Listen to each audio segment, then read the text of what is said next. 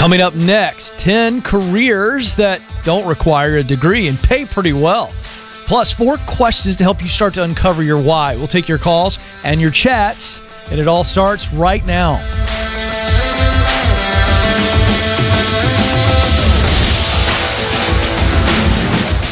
Coming to you live from Ramsey Studios in Nashville, I am Ken. Thrilled to have you with us. This is a conversation about who you are, what you were created to do, where you want to do it, and then how you get there. It's about your purpose. And that is important. It's the most important thing for every human being to really answer that question why am I here? Let me give you a hint. You are here to fill a unique role. You are needed and you must do it. Now, we're going to talk about your role at work. You have your role in your personal life, but your role at work, it's not about you, it's about the gifts that you've been given and how you can use those gifts to do work that creates a result that matters deeply to you because you see the impact it has. It's not an, a crazy idea, it's not a new idea, but that's what we're focused on. And you've got to get clear on what that role is. And then when you get clear on what that role is, now we can see in the marketplace multiple ways to fill the role. In different jobs, different career paths. Takes a lot of pressure off. You're not choosing just one thing. It doesn't need to be this stress filled decision. It needs to be marked by enthusiasm because you know there's so many ways to fulfill your role. And you can continue to grow and you stay in that role and you can evolve. So that's what we're about here. 844 747 2577. 844 747 2577. That's the number to get in. Madison is standing by right now. So if you're watching live at 11 Central, 12 Eastern, there she is. She's got the Georgia Red on today. Uh, I will tell you that Madison is very excited about college football. Um, there she is. She's pumped up today. She's very excited. The SEC released their schedule last night, and she is hoping for a full season. If she's if she doesn't get that, um, we are going to be watching her closely, watching her closely to make sure that she makes it through the fall. I don't know what you would do without college football. It will be a very trying time. Yeah. I will not be as nice of a phone screener. No question about it. So, for all of you who want to be handled gently and kindly as she does now, pray for football and uh, we'll be able to keep serving you. If not, we'll have to put her on the bench, Nathan. We'll just have to uh, get somebody else in there until she recovers from the shocking disappointment of not having football. So there it is, fun stuff. Uh, so she is standing by 844 747 2577. You can also submit your question via the chat room right there next to the video window. Comes right to my computer. We'll get to a few of those a little bit later. 10 jobs that don't require a bachelor's degree. Hello, we got your attention on that one. Some of you are going, hey, man, I don't want to go to school. but it's not just about not going to school. How about does it allow you to perform that unique role that you have? Do you find that you're good at these type of jobs? That you love the work itself and you can see a result that matters to you? Let's see. Here they are 10 jobs that don't require a bachelor's degree, and some of these could earn you $80,000 a year or more. One, radiologic and MRI technologists. Um, these are folks that are maintaining and operating technology like x ray machines. The median salary here, $62,000 a year. Electrical and electronics engineering technicians. Um, this is electrical engineers, building, testing, repairing instruments like computers, medical devices, and communications equipment. Median salary, $65,000 per year. Aerospace engineering and operations technicians, $66,000 per year. These folks are operating and maintaining equipment used to develop, test, and produce aircraft and their operating systems. Diagnostic medical sonographers. Well, that's a mouthful. I think you should get more than $60,000 a year just because that's what you do. Sounds very impressive. Uh, but these are folks that operate and maintain imaging equipment and help physicians diagnose medical conditions. Median salary, 68750 per year. Web developers, Web developers build client websites using coding. And the median salary there, $73,760 per year. Dental hygienists, uh, obviously, you're helping clean the patient's teeth before the dentist comes in and does that unbelievably invasive gum check. My guy comes in. I've already been cleaned and they're all around the gums, a little sore and all that. Comes in, got the old plastic gloves on, and just pulls the mouth. Oh, in all kinds of stretchy positions. And uh, I appreciate the thoroughness, but man, sheesh. Uh, nuclear medicine technologists. Now, these are technologists that work with radioactive drugs like those used to cure cancer. $77,000, 900 $950, $77,950 in median salary there. Nuclear technicians. Now, these are people working with physicists and engineers on nuclear energy production or research. Median salary $82,000 per year. Radiation therapists, obviously administering radiation treatments to patients with cancer and other diseases. Median salary $85,000 per year. And then air traffic controllers. Joe, you'll appreciate this. Joe is a pilot. Um, air traffic controllers monitor and direct the movement of aircraft. Median salary. You want to take a guess, Joe? You've seen the article. Yes, I have. Okay, never mind. $122,000 per year. And uh, my wife and I, we knew a couple who um, uh, the husband was an air traffic controller. I would just point out, very stressful, very stressful job, but they make really good money. So there you go. 10 jobs that require that don't require a bachelor's degree and can earn you 80,000 or more. Now, the reason I give you that list is this.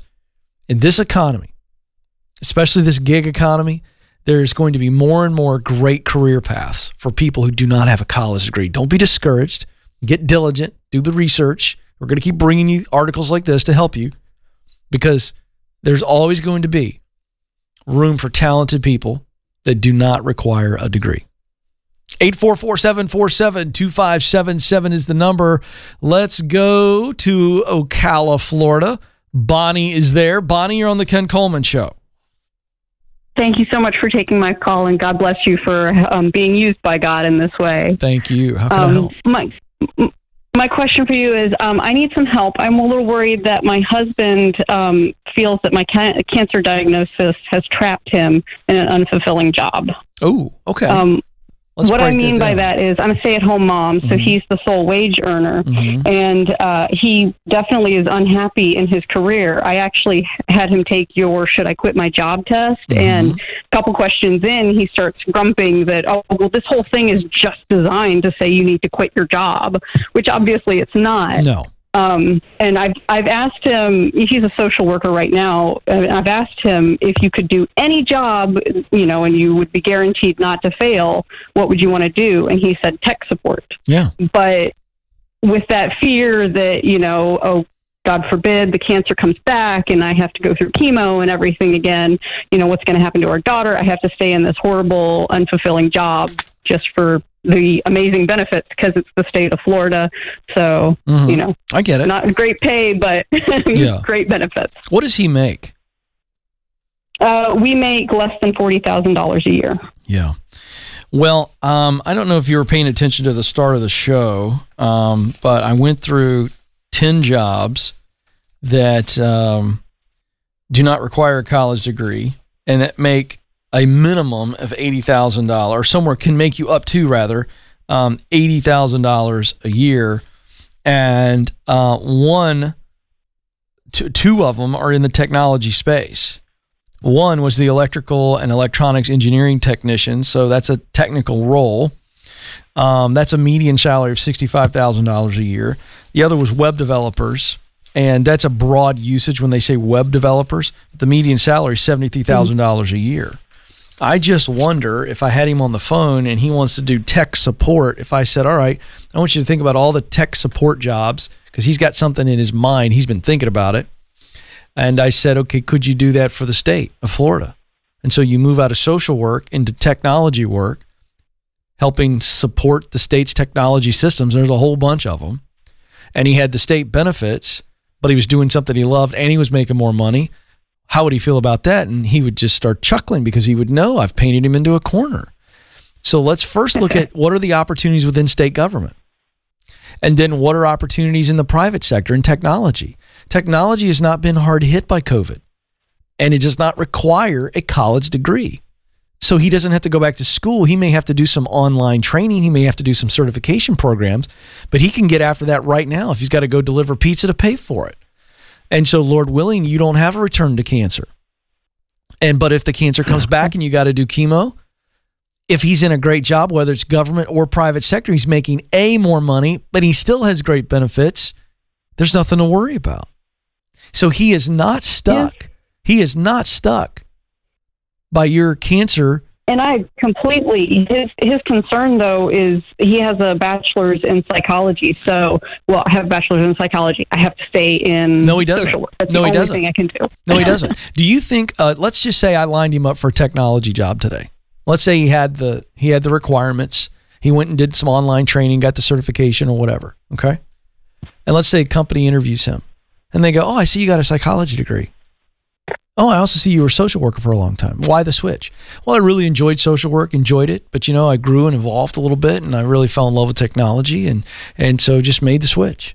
Do you think they care if he has a psychology degree or a computer science degree? Do you think they care?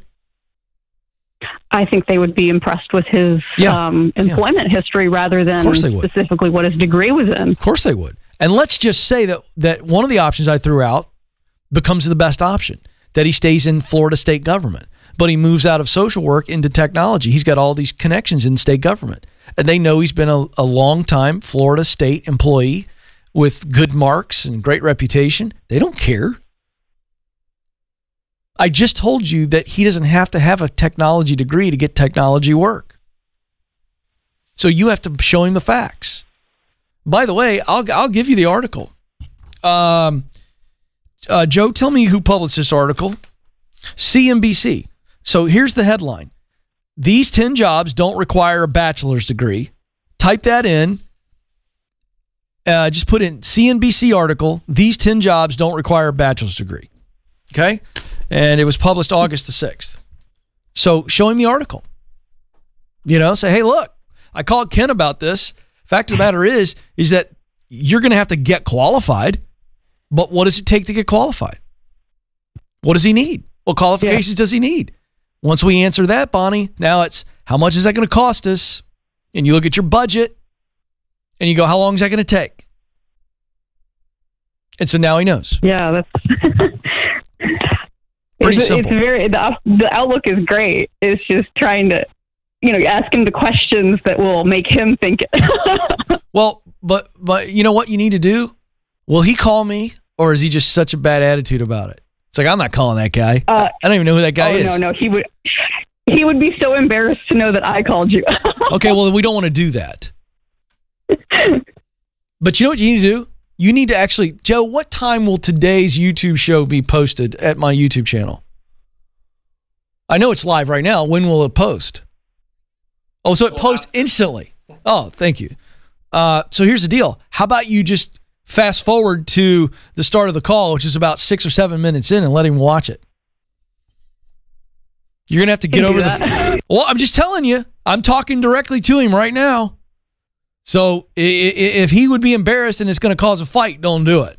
But if he's going to be embarrassed, no, no, but he wants, well, then let him watch it. See, here's the deal. He's worried that if he leaves his job, you won't have the benefits to take care of you. He's a good man. He shouldn't be embarrassed. He's honorable.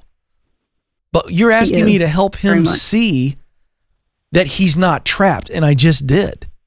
All we've got to do is get qualified for the technology job that he wants and get the job. And if it's got the great benefits, whether state or private, then he's relieved. And now he's doing what he loves and he's going to be able to take care of you. That would be the dream. That would that would be amazing. but it's attainable. Because I, I, I just want him to be, you know, yeah. I, I don't like having him feel so miserable. Then tell coming him home from work. Tell I want him, that. to come home. Tell like, him. Man, it was a great day. Yeah, tell him that. Say, here's why I call Ken, and here's the deal. I'll help you. We'll do this together. I'll help you find the gigs. We'll figure out what the qualifications are. I'll do whatever. Right? We'll sell some stuff. I'll help you fund the qualification Absolutely. process. Let's get you there. I'm all in. That's all. This is Absolutely. he just doesn't see a way, but he's not thinking about what does it truly take to get qualified to do the work I want to do. Once he does that and he sees a path, and you guys come up with a way to pay for it, and then we got a timeline, then we get after it. And oh, by the way, let's Absolutely. just say, and and again, I'm believing that you're cancer free. But let's just say that cancer does rear its nasty, ugly head up while you're in the get qualified process. Guess what? He hasn't left his job. So there's nothing to worry about. This is true. Yeah. He doesn't leave until he's got something to leave to. Therefore, there's no interruption in benefits. That's the point. Absolutely. You just got to show him. Please let him watch this call. And what is his name? Mark. Hey, Mark, I'm looking right at you right now. Listen to me. Your wife's a good woman. She loves you, and you're a rock star, dude. The fact that you have this concern, that you're doing work that you can't stand right now, solely because you want to make sure that you've got the benefits to take care of your amazing wife, man, that makes you an absolute freaking stud. But I hope you, as you're watching this, you see that the way out is still smart and it's still safe. And you're not going to interrupt your benefits that would in somehow potentially harm you and your family because of your wife. None of this revolves, uh, excuse me, involves you leaving without a plan. We execute on the plan and we walk from the social work that you can't wait to say goodbye to into technology work that you would love. And we just talked about how to do it. So you got this, man. But you can live your dream out and fulfill your mission and take care of your wife and family. And that's how you do it. So go do it. 844 747 2577. Joe, it just hit me. Madison, Nathan, it just hit me. I, I I'm a, sl- I'm, uh, you know, I'm not the brightest guy in the world, right? I'm just a good listener and, and, uh, and uh, I like to discern. And, uh, but it occurs to me if we got spouses calling in on behalf of uh, their, their loved one, and uh, it occurs to me just let them watch the call. That's what that's what YouTube is for. They don't have to call in. They're embarrassed or whatever. Fine. Change their name. Change the location. Madison will do that for you. If you're Sue from Orlando, you can call in and we'll call you Linda from Arkansas. We don't care. Make up a name. And if you and then I'll I'll speak to your spouse on your behalf and let them watch it. That's that's the magic of this. We really don't care if it's your name or where you're from. We just want to help you. So there you go. I don't know why I haven't thought of that before. We get a lot of people that do this. It's like, oh, I'm calling on behalf of the husband. So now you speak right to the husband. So there you go. 844 747 2577. They're making fun of me back there. I get it. I, I don't know why. I don't know why. You know, because I, you know what I really like? We've had a couple of these calls, Joe, where we've had the husband get on the phone. And dudes, I'm calling you out. Your wife is braver than you are. Uh oh. Well, it's true. We got, we got how many women have called this show on behalf of their husband? That's true. It's way more than the other way around. So, guys, if you if you're not comfortable, fine. Ladies, call and make them watch the call on YouTube. And I'm gonna speak right to these dudes. 844-747-2577. Brainerd, Minnesota is where Reese is. Reese, you're on the Ken Coleman show. Hey Ken, how's it going? Reese, I'm living the dream. What's going on with you? Well, I'll say I'll try to keep it short here. Um, but basically, I'm 20 years old. Uh, I graduated high school a few years ago, and then got my associate's in arts degree through the local college. And now I just find myself working, and it's not necessarily something that I want to be doing, but I'm having a really tough time narrowing down what it is I need to be doing five years from now. All right. So let's talk about that. Have you ever wondered about something, even if you were in the eighth, ninth, tenth grade, maybe you were a nine or 10 year old, and you've never truly explored it? What comes to mind when I ask you that? You know, not a whole lot, really. Mm. Um, I tried filling out the career clarity guide. Where'd you get stuck? Was, well, it was easy for me to come up with some talents, but as far as passions go, I have a tough time just just narrowing it down, finding something. All right. So now, when you say it's tough time narrowing it down, that implies that you've got a lot of answers, or it implies that they're kind of ambiguous, meaning you can't get super descriptive. Which one is it? more so ambiguous. Tell me what you did write down. Tell me what you do think of when we talk about work Uh, that you love. The idea of the work itself, the task, the function. You really love playing this role. What comes to mind? Well, I'm very goal oriented, so accomplishing a, a big goal is uh, very fulfilling for me. hmm Give me an So example. really Give me an example of a goal like that that you did that and you felt very fulfilled. Uh, it could be as simple as like a home project. If I was working on maybe um, a renovation or something, by the time I I got done, I could sit down and look at it and touch it and say I did that. Yeah. That was very fulfilling. Okay. Anything else that popped in your mind? Under passion, work that you love to do, that you just love it. You think about it, you get juiced. You're in the middle of it, time disappears. What else? Um, maybe just talking with my friends and helping them out with their budgets and stuff. Interesting. Okay. Um, that's good. That's good. What would you call that? What what what one word would you describe if I said what role are you playing when you're helping your buddies out with their money? Um, maybe an advisor. There we go. Very interesting. Anything else? Um, Uh, Under not, passion. Not really. Okay, now what did you write down for mission? Results of your work that matter deeply to you, the people you want to help, the problems you want to help solve for them, the, res- the, the the solutions to those problems. What did you come up with there? I, I couldn't come up with much for that. All right. Well, the reason is because you've really struggled to define the work. So once Right. you, all right. So now let's go to what you do best. You said you had no problem write down your talent. What'd you come up with? So I'm reliable, adaptable. I like solving problems. Um, I have a lot of attention to detail. It's easy for me to make big decisions. Uh, I don't have any tough time doing like risk assessment, looking into the future um, as far as a decision goes. Okay, good. Now let me tell you what I heard. I'm going to spit it back to you. You're reliable, adaptable, good with details. You have you're decisive, and you're also a bit of a futurist. Did I get that right? Yeah. Well, one thing you said in there that I didn't just include because it almost takes me getting you to talk about what you're good at to hear a little bit of passion. And you said, I like solving problems. That doesn't belong on the talent list unless you say, I'm good at problem solving. Are you good at problem solving? Yes. There we go. But guess what? You like solving problems. So now this is the fun part. What problems do you most get excited about solving? Oh gosh, I don't know. Yeah, you do. Yeah, you do. You just said it. Uh, You gave me two earlier under passion. Work you love to do. You like fixing things, right? Uh, or, or maybe we say creating things. So that's either you liked renovating a bathroom or a kitchen or fixing a patio door. Those are your words. I'm just putting in some details. Am I right? Right. but you also love advising your friends on money. So if I say to you, tomorrow I'm going to give you a grand adventure, Reese, and here's how it works you're guaranteed to be successful. Don't have to commit to it for more than five, six months. It's just a fun work adventure, but you're going to be good at it. Can't fail. And we look at the, the, the information you've given me so far and we go, all right, you get to pick. What work are you doing? What problem are you solving? Who are you helping with the work? What do you say? What do you try tomorrow? What do you do? Uh, I think I might start by helping people out with their personal finances. Why? Why'd you pick that?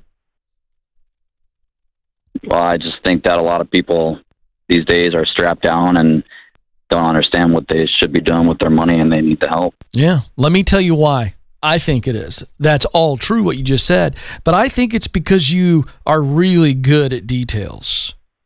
I think you're really good at adapting to scenarios that come your way. So when you're counseling people on money or their retirement, they're investing. You can look at their situation and adapt, get the details, put a pattern together, make a decision that gives them a better future. And ultimately, you're solving their financial problems. That's why I think you chose it. Does that sound right to you? That sounds pretty close, yeah. Yeah. Why'd you chuckle? just kind of just had a realization there. Yeah, you did. Now, let me ask you. So I teach that you use what you do best, your talent, to perform your passion. This is work that you love to do. To then produce a result that matters deeply to you. That's mission. Talent plus passion plus mission. That's where you find that role you're supposed to play the role of advisor. And if you're playing the role of advisor every day in the workplace, you're in your sweet spot. People look at you and go, Reese, you were born for this. So I'm asking you is financial advisor just one of the jobs that allows you to fill that unique role and be in your sweet spot? Probably not. There, I mean, there are probably probably are a few different careers out there. Once I dug down deeper, right? But you you answered the question wrong. The answer is yes. Financial advisor is one of the jobs. Right. Well, why'd you say no? It wasn't. I guess it's just really hard for me to make a decision for myself versus other people. Yeah, but my point is, is I'm just giving you one option, and we're looking at talent, passion, mission. That's the what you okay. grade this on, and so you got confused. I think the way I asked the question confused you. Bottom line is, financial advisor is just one of the things that you could do that keeps you in that right. unique role, right? Right. Just one of them. Yep. All right then. So somehow I confused you for the moment. Are you clear now? Oh, that makes sense. Yeah. Yeah. So now here's the deal. What do you do with this phone call? What you need to do is is start doing some more digging into the field itself. Talk to people. Go to daveramsey.com. Find a SmartVestor Pro or two or three in your area and call them up say, hey, I'm a Ken Coleman show, Dave Ramsey show guy, and I think I might want to get into this field. Love to learn more about what it takes to get qualified, what a day to day looks like. Find somebody who uses one of those people and see if they'll set up a phone call for you. Just say, hey, I'm a young guy. Okay. Can I spend 15 minutes with you doing a little short interview? It's like doing a college research paper. You've done that. And you now you're going right. to clarify and verify whether or not this is actually a top candidate. It might not. You might come away and go, you know what? I actually want to get into home renovations. And I'm going to advise people on the best way to add value to their house. I don't know which way you're going, but my point is it all comes back to do I have the talent to do it? Do I enjoy the work? And does the work produce a result that I get fired up about? Make sense? Right. Yeah. So you're there, Reese. You're really close. Got a little bit more research to do to see all the different things that you could do to fill that role. All right. And then now we go, oh, now he can step into a sweet spot. 844-747-2577. Let's go to the chat window. Then we're going to do a little teaching on four questions that will help uncover your why. And we walk through a little bit of that uh, with Reese, but I'm going to give you some very specific questions that'll help you. Uh, let's go to Corinne. She says, I'm starting grad school tomorrow. Any tips on how to use that time to set myself up for the dream job after school? Yeah. So, any moment that you are not in the classroom or doing some work that you have to do to maybe pay the bills if you have to work, you are doing what I just told Reese to do. You are connecting with people that are in the field that you want to be in. Hey, I want to be you someday. Can I buy your coffee? Can we do a Zoom call? Can we do a phone call? Um, I, would love to just learn more about what you do day to day, how you got there. Uh, so you're you're wanting to connect for the purposes of learning and the connection. Then, if you can, get some work in the field.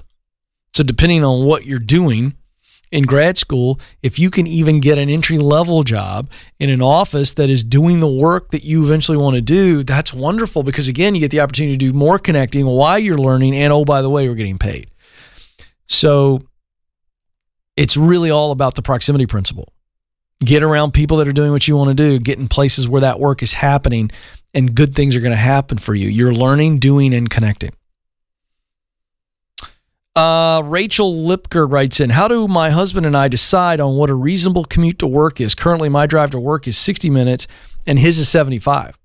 Well, the very nature of that question leads me to believe that we already feel like this isn't reasonable for much longer. Okay. But what you've got to do is, is you've got to look at the big picture. So what we say is we go, okay, we're driving, I'm driving 60 minutes, you're driving 75 every day to do this work. This work is producing a paycheck that is allowing us to not just be stable, but hopefully we are making our way towards a goal. What's the goal? Is it just the paycheck? Probably not. Is it getting experience so that you can move up in your career? Hopefully so. So now we say, how much longer can we do this? This is having an effect on us. So, how much longer do we think we can put up with this? That's the emotional question. Now we need to get practical. We have to replace these jobs for all of the reasons I mentioned just just moments ago. So, how are we going to replace those? Where can we replace those and make our commute much better? So, it's just tactically walking through what are all the things that need to happen for us to fix this problem. And your problem is the commute. It's not difficult, but just walk through this. Okay. Well, in order for me to do this work, stay in this place, there's only a couple places that are within 30 minutes or less of us. So I got to look at those and see what the opportunity is. So now I got to put all my guns and focus on that situation. You know, um, can I be flexible? Can I wait a little longer? All those things. You just got to walk through it. And um, if you do that, um, you'll come up with a plan. Shanalay writes in, Ken, what are your thoughts on multi-level marketing companies? I'm going to keep my thoughts to my own personal opinion. That's what you're asking anyway. They're not for me. Um, but I know a lot of people that have done very well in multi-level marketing. They're personally not for me. And I would say that if it's not something that you want to do for the rest of your life, and be actually the true business owner based on how that whole multi level thing works, I wouldn't do it. I think there are certain people that are really cut out for it.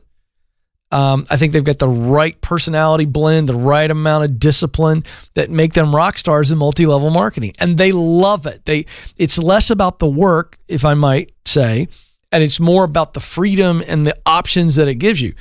And if that's the driver for you and you're uniquely qualified to do well in it, go for it.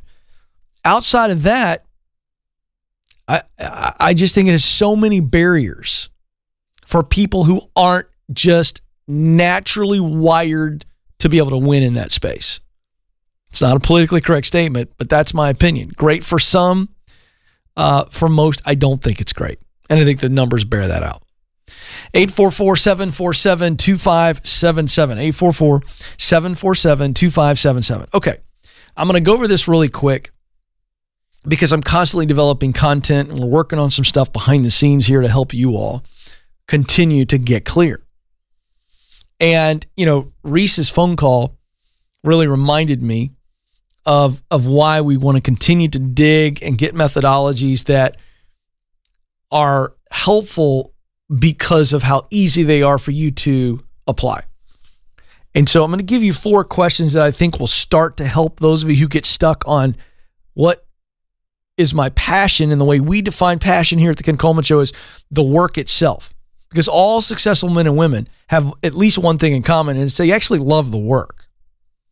So whether they're in coding or they're artists or they're teachers or they're business people, they love the work. The the results of the work, obviously, big heart issue. That's why we focus on that. But they love the work. And and and in loving the work, of course they're going to connect to the the result of the work. But they really, really love the work. Whether they're they're noticed for it or not, whether they're rich or famous, that's all a byproduct of the love. Okay? Which is why we use the word passion to describe the work you love. But a lot of people get hung up on this. Our, our we have a wonderful little worksheet that just kind of a, the very basic process.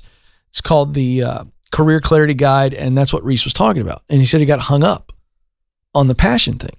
So here are four questions that will start to help you see things, see evidence in your life. And believe me, the evidence is there. Sometimes we just struggle to see the evidence in our own lives. So here, here they are. Four questions. All right. The first one is Do I like working with people? Just answer that. Do I like working with people? Second question Do I like working with things? Third question is Do I enjoy being in the idea space? I like working with ideas. Fourth, do I like working with and in processes? Okay, so let me run through those. Essentially, you've got four areas and they can all intersect. So let me give you an example. If you said, I really like working with people, yes, I, I like doing jobs where they're very people focused and people oriented. And then you got to things and you said, Yeah, I really like working with things, but I like working with people too. Well, it's an example of how that would work. So, give you an idea. So, that could be the HVAC repairman, the mechanic, is very people oriented that people are coming with something very personal, very important to them. Their eh, their heat, their AC, their car, and there's an interaction there. So I enjoy interacting with people, but I really like working on things. That would be an example. Let's say that you said, uh, I really like working with people, but um, I'm, I'm really all about processes. So that could be a person that is an office manager, right? could be an admin assistant. I like engaging with people, but I really like working on processes and working in processes. What about people and ideas? Well, that's where I fall. I really love developing content, working in the ideas space, principles and truths and methodologies. But I love, love, love doing it on behalf of people. So I'm all about working with ideas to serve people. You following along, Joe? Where do you think you fall on this? Have you thought about this? You're a process guy. And Yes. Jo- and Joe is and Joe's a things guy, right? Like he turning knobs and and editing. The guy's a whiz. He loves technology and production and all that. Uh, but he's also a process guy. He wants it to. He wa- he's all about making things run efficient, efficiently, and excellently. That drives you. Yes, it does. So that's why Joe produces a radio show, right? Yes. Are you tracking, Joe? It's making Absolutely. sense. Yes. So as you begin to walk through those four questions and you see the how they can come together, it's a starting process. Am I driven to work with people? Am I driven to work with things? In other words, do I enjoy working with people more or do I enjoy more when I'm working with things? Do I love engaging in ideas or do I love engaging in processes? Those are four really core questions that will begin to produce answers that you see as evidence. And you go, oh. So play with that a little bit. We're developing some really killer stuff on this. So I'm giving, you know what the radio show does for me? The YouTube show allows me to just throw stuff out there. It's like slap that up against the wall. Okay. And so it'll really help you begin the process of asking the when when it comes to work because I've given you questions on the mission side. I'll go ahead and teach that too because I'm on a roll. Right. So when we ask the mission question, what results matter to you? I always say, who are the people you most want to help? What is the problem they have or the want that they have? So so think challenge or desire. And then you say, well, what are the solutions to their challenge or desire? Let me give you a further example. So if you want to help people that have technology problems, well, that's very clear, right? So I want to go in and fix people's home technology problems, or I want to fix technology problem for small business, whatever. Okay. Now that's a problem. They got a technology problem they need to fix, or their HVAC goes out. You love coming in and saving the day. All right. Most important person in the Southeast every summer is the guy who fixes the AC. Believe me. All right. That's a big problem, and you're helping them solve that problem. But it could also be on the desire side. I, you know what? I want to make women feel pretty. They desire to be pretty. So I'm a makeup artist, or I design dresses or shoes or sell shoes, whatever it is. So when you begin to ask those questions on the mission side of things, you realize, oh, these are the results of my work. This is what drives my work, are the results. But they work together, right? So as you begin to look at that, what do I like to do from a work? Just I like this work. That's where those four questions come in. Would I rather work with people or would I rather work with things? Do I enjoy working in the ideas space or am I more in the processes kind of space? telling you folks, it'll reveal a lot. But you got to have the discipline to engage. By the way, when you answer those questions, go to some other people who know you really well and have them answer the same thing on your behalf. You won't believe the amount of confidence that'll give you when everything matches up. So there you go. A little bit of a hack to help you all who are struggling with that passion question. Uh, that'll really help you. So dive into that. Let me know what you think and uh, call the show. We'll walk through it together. That's what's great about this. You get to call in and go, well, Ken, I answered these questions. Here's what I came up with. And let me see if I can help you put all the puzzle pieces on the table and then let's solve the puzzle. Well, gosh, I want to keep going. Well, I can't. But before I go, I want you to know you matter and you do have what it takes. Thank you so much for joining us. Until next time, this is The Ken Coleman Show. Press on.